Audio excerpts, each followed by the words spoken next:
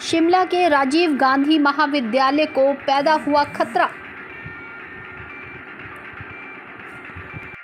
College में की गई छुट्टियाँ।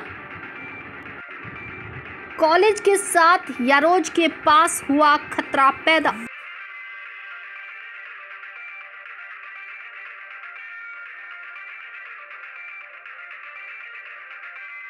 एन स्टार न्यूज़ के लिए शिमला से चमन शर्मा की रिपोर्ट।